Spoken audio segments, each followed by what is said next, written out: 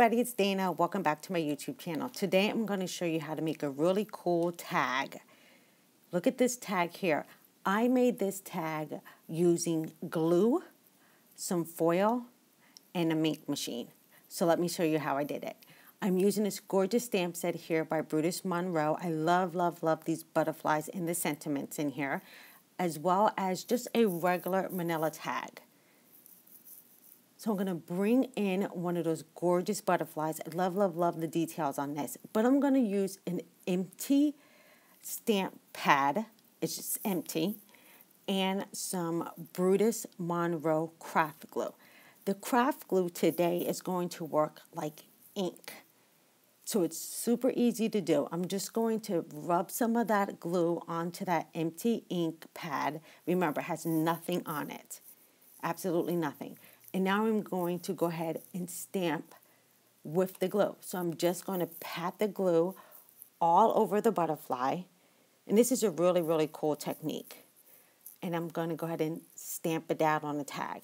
Now I'm going to do this quite a few times, but what's so easy about this, I had this in my head that I wonder if I could use glue and the foil to make a tag and it just kind of like came to me.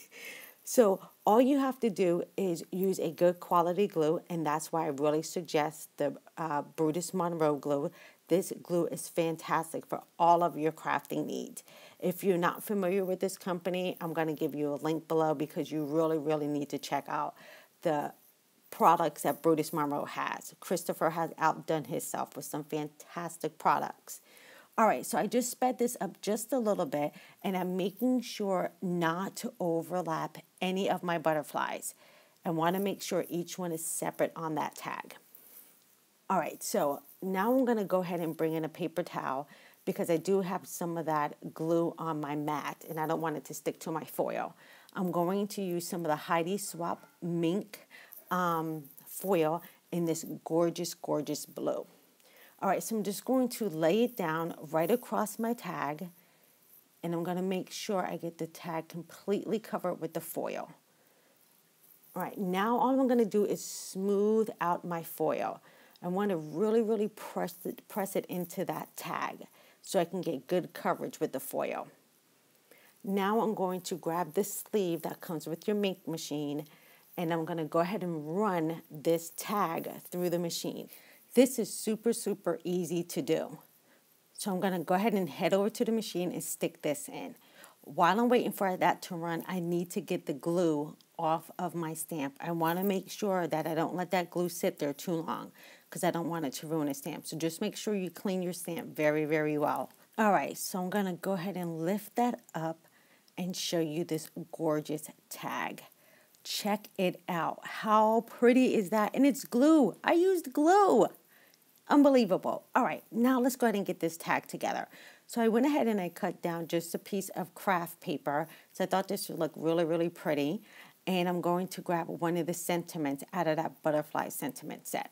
I love this graphic color of cornflower. It's so, so pretty. And it's chalk ink, and I have to tell you, it's fantastic. You guys got to get your hands on some of this chalk ink. All right, I'm going to go ahead and stamp down and I'm going to press firmly so I can get a good impression the first time. So I'm just going to make sure I touch on all of the areas so I get a great impression. Look how pretty that ink is. Oh, I'm in love, absolutely in love. All right, now, what I want to do is I want to go ahead and put a border across the bottom. So I'm just going to grab one of my border punches. I believe this one is a Martha Stewart punch. I don't remember off the top of my head, but I think it is. And I'm just going to go ahead and punch out a cute little border across the bottom. I didn't want it to be like just totally square. I need a decorative little edge on the bottom of this piece. All right, so I have a cute little border at the bottom now of that piece, and now we can go ahead and put our tag together. So I'm going to grab that same glue again. This is the great um, craft glue. You can use it for everything, absolutely everything. It dries clear and it has a great bond. So this is not going to slip and slide off of any of your craft projects. Once it dry, it is dry. It's not going anywhere.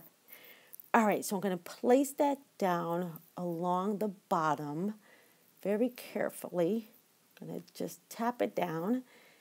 And I wanted to leave it so you can kind of see the butterflies underneath that little scalloped edge. Just clean off some of that excess glue. All right, now I'm going to grab some ribbon. And I just happen to have this ribbon that matched the foil perfectly. So I'm going to go ahead and pull that ribbon right through the top hole of my tag. And what I love about this ribbon, it also matches the cornflower ink perfectly. I mean, I could not have planned this any better. So I'm just going to go ahead and cut my ribbon right across the top. And I'm not going to tie it in a bow here. I'm going to actually use some twine.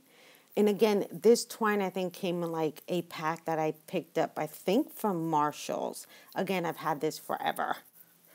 Okay, so I'm just going to go ahead and wrap the twine around the blue ribbon. I didn't want to like make a knot with the blue ribbon. I thought it would be um, kind of cool and funky looking if I wrapped it with the twine and then um, tied a bow on the front of it. So I'm just going to get that really, really tight and I'm going to go ahead and make a bow. Now, I would tell you, I am bow challenged. I might have told you guys that in other videos. I am tremendously bow challenged. if I'm not using a bow making machine, I am bow challenged. But I'm going to do my best to try to get me a good looking bow because I think the twine just adds a little bit of pizzazz or another element to my tag. It's kind of rustic, but because we're going to tie it in a bow, it's going to look kind of elegant in the same way. So I'm just going to go ahead and fiddle around with this and get myself a halfway decent looking bow. I think I can pull this off without pulling out my bow machine. I think I'm to be good. All right, so there I finally have my bow done. Just going to adjust it just a tad bit. And now I'm to go ahead and cut off the ends. I want my ends to have like that little fishtail look. So I'm just to fold my ribbon in half and then go on my, my scissors on kind of like a catty corner.